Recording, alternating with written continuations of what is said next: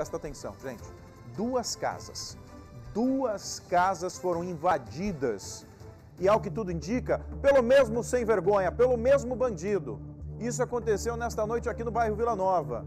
Quem traz informações ao vivo pra gente agora e diretamente do local onde aconteceu essa, uh, essa safadeza, essa bandidagem, essas duas casas que foram invadidas, a nossa querida Day Oliveira, que está na rua onde aconteceu esse furto, onde essas duas casas foram invadidas, né, Day? Bom dia.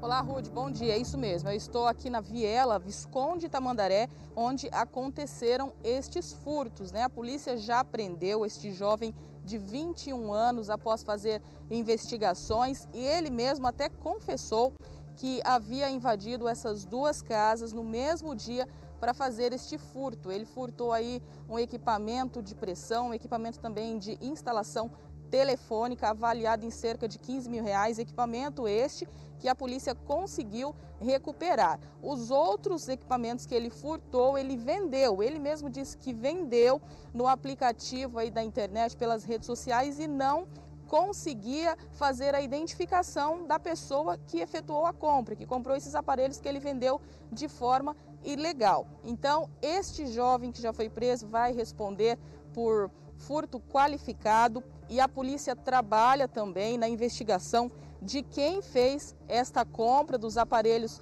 que foram vendidos pela internet de forma ilegal e eles podem responder também por crime de receptação. Então, fica também, Rude, um alerta para as pessoas que fazem as compras aí pela internet, que hoje em dia está muito fácil. A gente entra na OLX, esses aplicativos que fazem a venda de equipamentos, diversos itens usados, e às vezes a gente não sabe da onde vem a origem, de onde vem. E muitas vezes a pessoa pode comprar aí um equipamento ilegal. É muito fácil, tem hora para reconhecer por conta até mesmo dos valores que esses produtos são comercializados. Então, é a pessoa, este jovem já foi preso, está sendo investigado quem fez a compra dos equipamentos. Ele mesmo confessou, disse que ao passar aí por uma das casas, a garagem, o portão da garagem estava aberto, então ele decidiu entrar, né? Olha só que maravilha, bem abusadinho, vamos dizer assim. Volto com você aí no estúdio, Rude. Obrigado, viu, Dai, pelas informações. Safado, né? Bandido. É bandido, só isso. Aproveitou a ocasião. Sabe aquela situação? A ocasião faz o ladrão? Não, aqui é ladrão mesmo, é bandido. Aproveitou a oportunidade, invadiu a casa, surrupiou o que queria, vazou e aí tentou comercializar pela internet.